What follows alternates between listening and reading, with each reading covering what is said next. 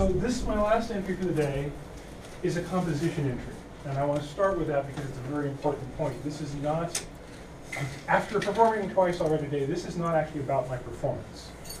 I will give you a little reading sample so to prove that my composition can be performed, that it works as lines of dialogue.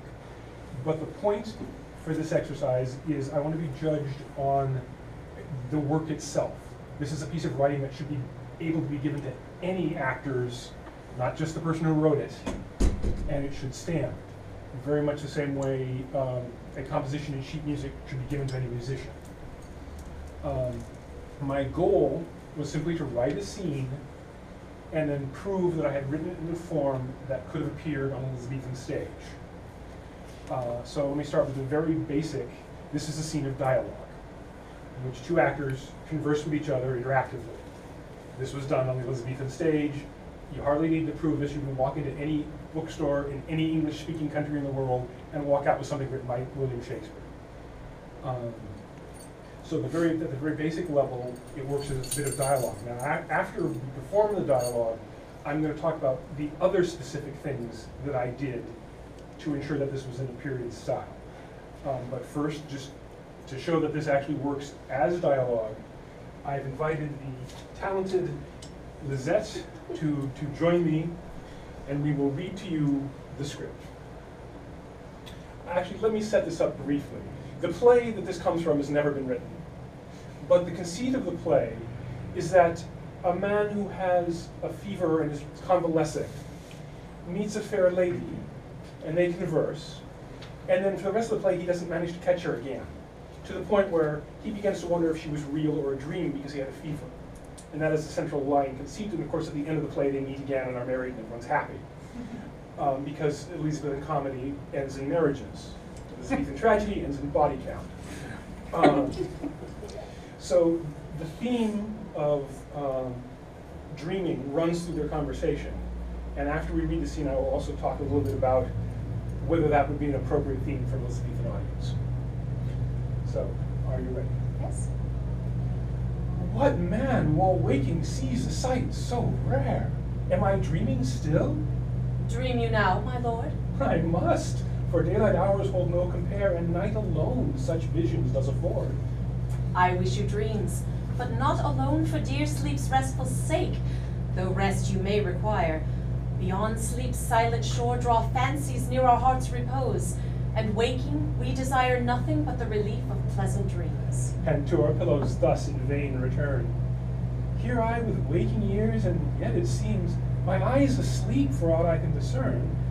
Oh, would that I could never more to wake. That wish be denied for the wisher's sake. The sleep that does not end comes soon enough, and leaves the living with the loss. Peace, friend. The hand of death is cold and rough. To hold this dream is all I do intend. May all your dreams be long and gentle. Then to restful repose may you now return, and let sweet Morpheus's kind fancies send to bathe you in clouds and cease all concern. Awake or sleep, let me now abide, and never from this moment change my state. Now care I not if mares of night I ride, or awake my returning strength await. For beauty from my dream stands me before, and I can not but cherish and door. It's very short. It's 28 lines. Why 28 is a point we'll be getting to. Um, let me start by, by discussing the theme a little bit.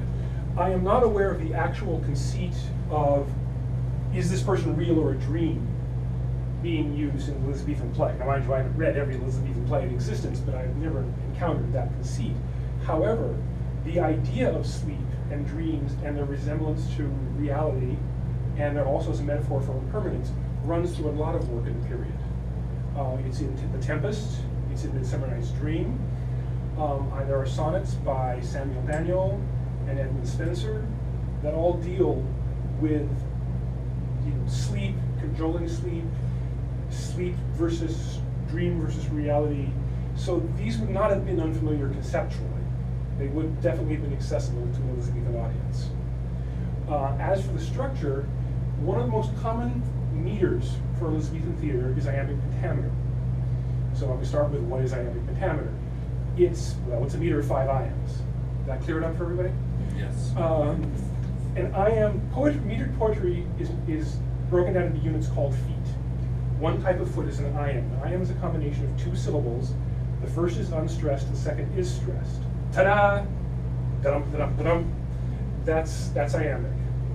Uh, so a meter of five iambs mean every line has ten syllables, and every second syllable is stressed, which sounds, when you talk about it, like it should be really awful. But it's actually a very natural rhythm for the English language. Uh, so, you know, shall I compare thee to a summer's day? Shall I compare thee to a summer's day? Da-dum, da-dum, da-dum. It just falls very naturally. I wonder if it's going to rain. I wonder if it's going to rain. Four score and seven years ago. So it's not just for Elizabethans. It's um, so that is the uh, rhythm that my piece should be written in. So what man while dreaming, ah, sorry, what man while waking sees a sight so rare? I wish you dreams, but not alone for dear. Sleep's restful sake, though rest you may require. So the piece should, if I have done it correctly, be written in this very specific rhythm. Now, there's another trick though, because that's fairly basic, and also it is not universal to Elizabethan uh, meter. It was one of the most common, but for example, Macbeth's witches do not speak in pentameter.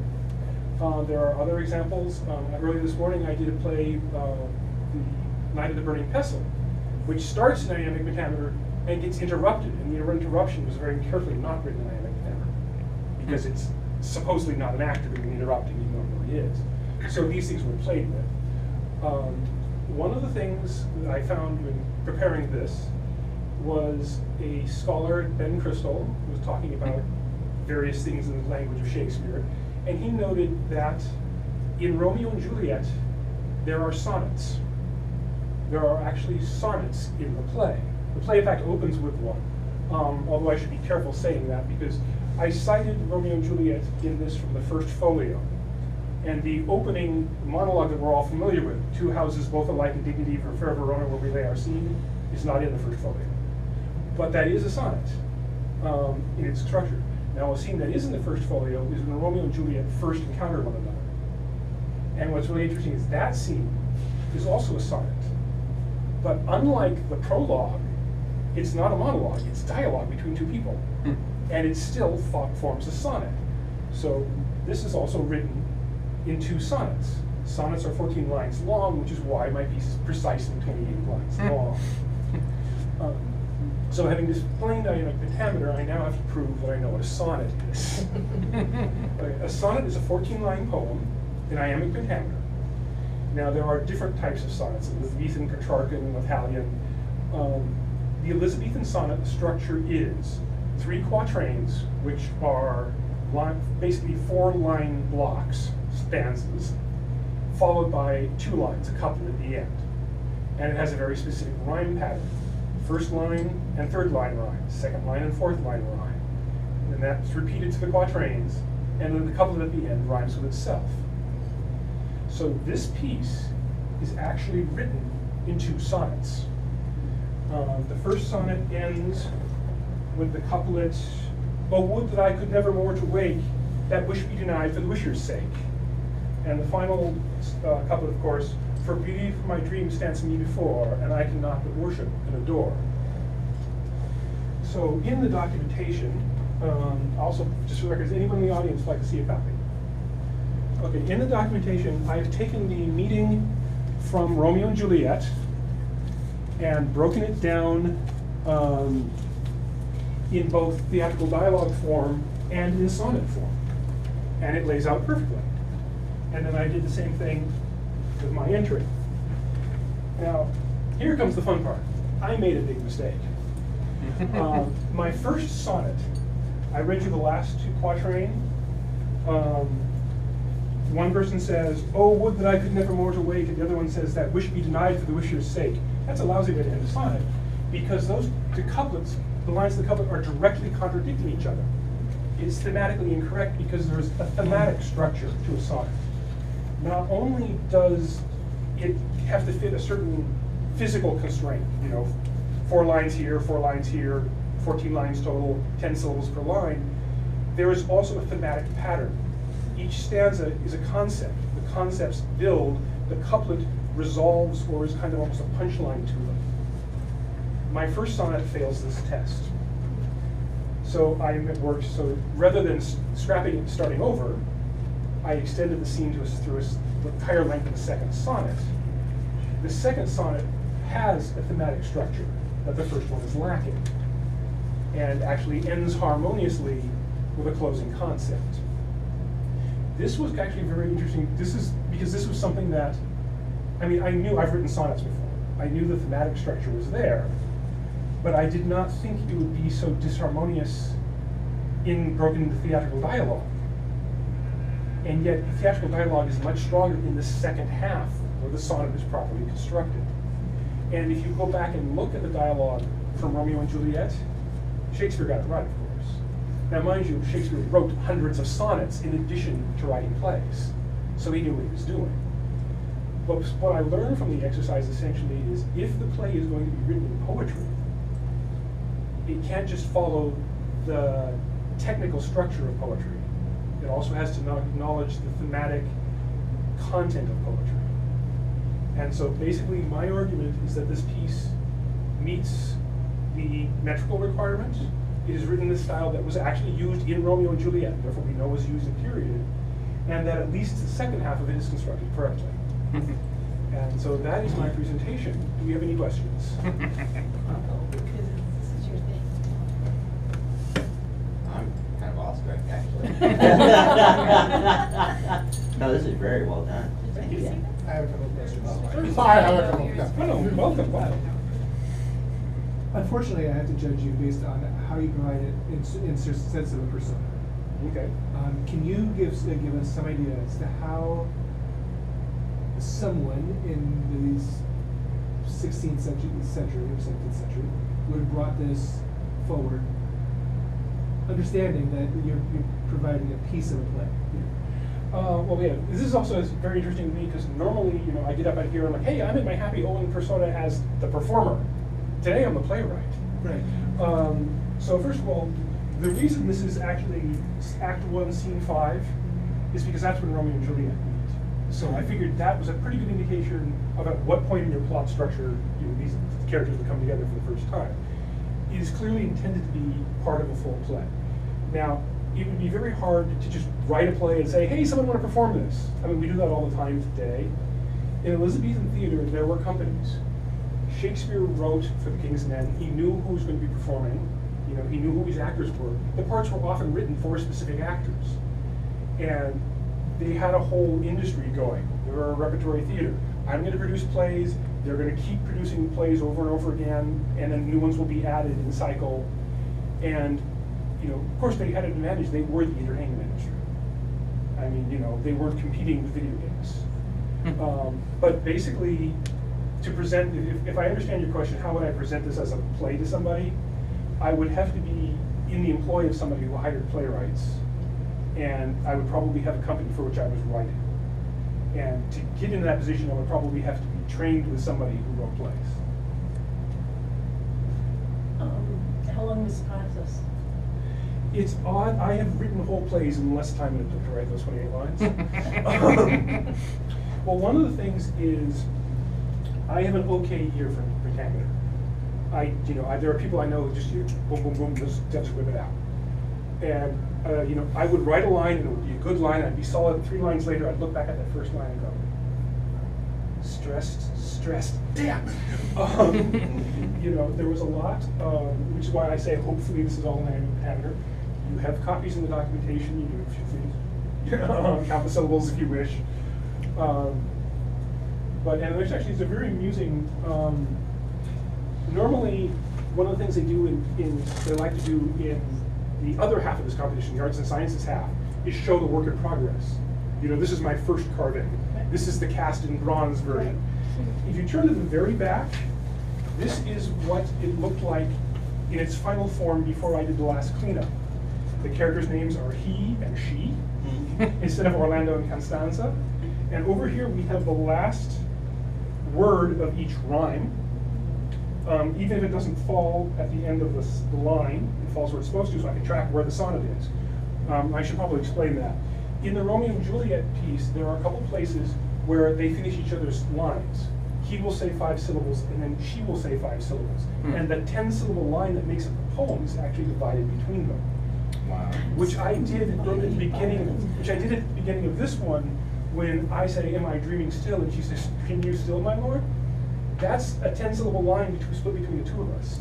So I had to track, okay, I'm supposed to be rhyming with what word?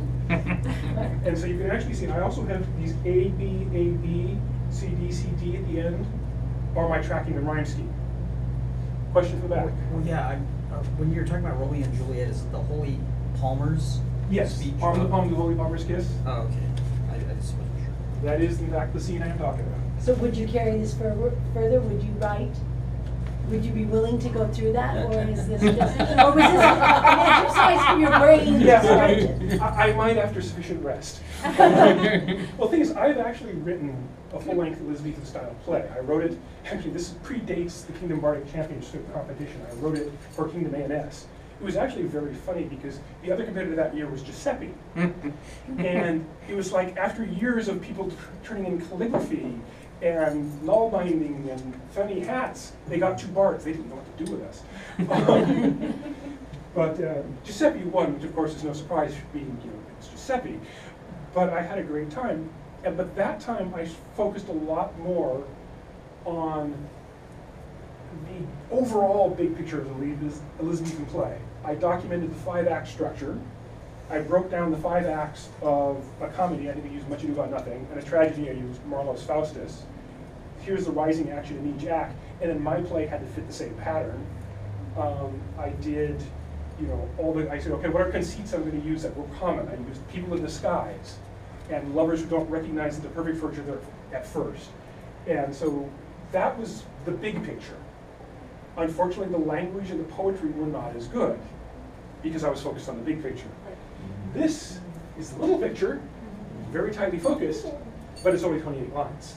So theoretically, with what I learned doing this and what I learned doing that, yeah, this masterwork could be possible. But I am also, one of the things I learned is just how much work it would be. How many plays a year did you write? I don't know. Yes. Um, and, you know, the Elizabethan playwrights were, were admirable. Um, now, mind you, as I said, he also wrote 100 sonnets. He knew what he was doing. The, the language of iambic pentameter was in most of the theater at the time. They knew what it sounded like. But of course, the biggest advantage that Shakespeare had is I have to work 40 hours a week putting stuff on a website.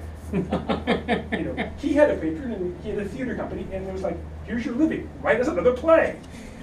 Romeo and Ethel is overdue, come on. Um, you know, if, if I were employed as a playwright meaningfully for several years, I probably could do some of this, you know. So did you have the vision first, or did you start writing and then fit the vision to the writing? I had the initial conceit. Um, this conversation was, you know, are you a figure out of my dreams? To which she replies, are you awake or not? You know, and that byplay, um, I had that concept, but it really the scene when you're working this closely in poetry, the scenes really have to shape themselves as you work, because half of it's like I have to get this mention of impermanence and death in there because that's one of the metaphors for sleep and dream they used. And at the same time, I have to have a word that rhymes with wake. You So the know? rhyme scheme became quite a burden? Yes. Um, well, actually, um, there's an interesting question that I've seen twice. Once in a series of novels by Madeleine L'Engle, and once in a class taught by Sir Brand, which is why would anyone write a sonnet? I mean, if I can write free verse and say what's in my heart, why would I write a sonnet? Which is like working in a cage. And the answer is the structure actually brings out stuff that you would not have thought of if you were not using the structure. It brings out different parts of your vocabulary, it engages different parts of your brain. Another example I learned from storytelling is if you tell someone, okay, you're now going to do an improvisational storytelling entry, tell a story. They're like, huh, what? But you notice what most of them do? All right, I need three words from the audience. Because, okay, I have a castle and a fish. Okay, I have to make a connection between a castle and a fish, and the brain starts working. and making these connections. So I'm looking for, you know, a rhyme for would I could never more awake. Oh, would that were not true for the wisher's sake. Those lines would never have been in there. They were, they're good lines, they just sadly they don't belong at the end of a sonnet. But they would not have been in there if I were not trying to use that structure. Um, so yes, if I had, like I said, sufficient rest, sufficient motivation, and enough time, it would be interesting to write the whole play. But the goal would have to be to achieve both things, the full structure and correct style and the language. And not lose your sanity in the process. Yes. Question from back. I am um, curious, you talked a little about sort of, you know, the, the overall structure of the piece and the, the sort of general conceit about dreaming and sleep. And I'm wondering how much attention you put into your specific word choices or any, you know, figures of speech in terms of making sure these are things that would be familiar to the, the 16th century person or not. Um, And that's, a- I'm asking a question that Well, implies a lot of work, I realize. Yes. I'm curious. There's, let's say about sixty percent. Because a lot of times, I mean, okay, mares of night.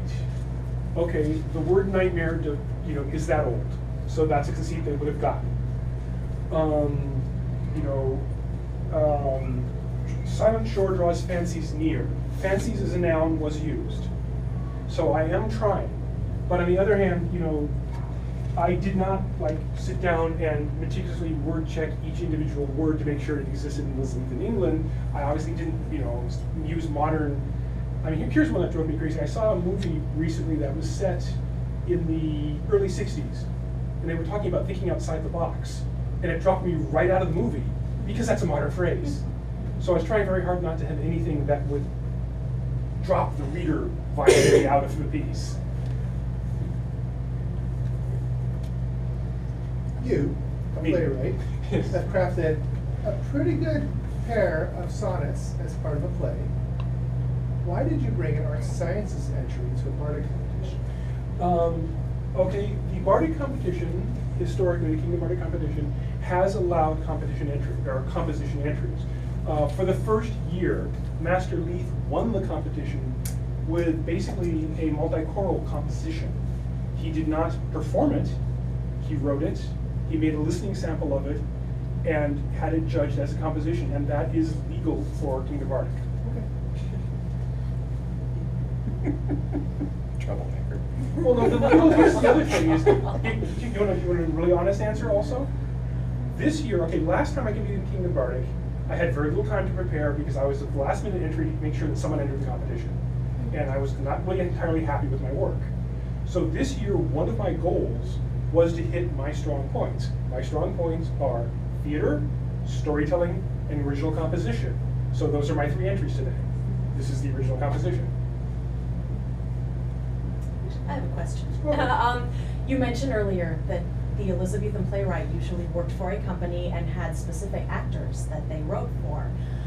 Modern playwrights are usually writing actor neutral and hope to cast somebody that fits their, their brain image. Which style do you use as a playwright, or if you use both, how does that influence? most of the stuff that I have written has in fact been actor neutral.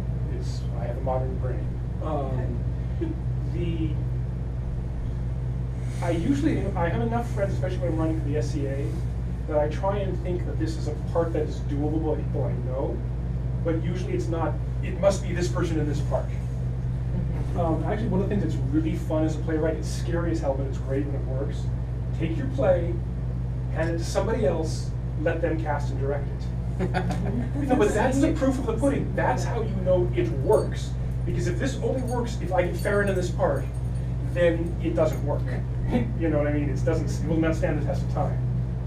So, so yeah, I'm more modern. I am more actor neutral. But we do know. Um, in fact, I've seen entries by this um, from other people.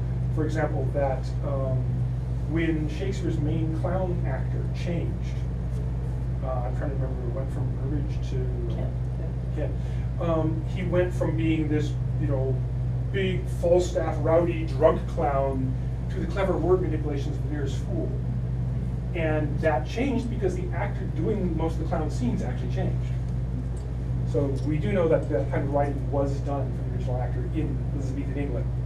More of a modern writer, sorry. Any other questions? Did you give thought to staging as you wrote this, or?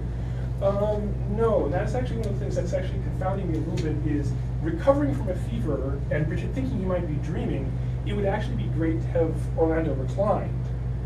However, there was, um, the Elizabethan theater favored a bare stage. They would bring out chairs and props and stools if they needed them. You know, like Macbeth has a banquet scene, for example. But as much as possible, it was bare stage. So it might still have been the two of them standing, you know, or he might have like a crutch or something, or a cane just to show he's a little infirm. Um, but having him reclined would be my, my choice if I were directing it, if it could be worked. Wondering, I'm not sure that would be really. Yeah. Yeah. that between. And just a warning, we're down to like three minutes. Okay. Okay. So, it's all good ends. Um, This was, this is a beautiful piece of documentation, it really was. It's really awesome. I tried to explain iambic pentameter to Cedric, and uh, he came that close, that close. I was using this and using your examples, and it was, it was great. This was actually, of the three pieces of documentation that I wrote today, this was the one I was the happiest with. And the reason is, this was the most process-oriented. I mean, it's, it's one, because most of my documentation, I have to prove what I'm doing is from this point in the period, and it's, you know, yes, there may over Arthur Fox stories, I didn't make that up. But this time around, I actually was able to say, okay, this is what I'm doing. Oh, look, this is how Shakespeare did it. Let me break that down for you a little further. Okay, then this is what I'm doing next. And I'm actually much more comfortable when I can take the excellent work and say, this is what's in it, this is what I'm doing instead, you know, in comparison. So this is my, this documentation was a joy to write, compared to especially some of the others I did today. So, well, thank you, everyone. Thank you.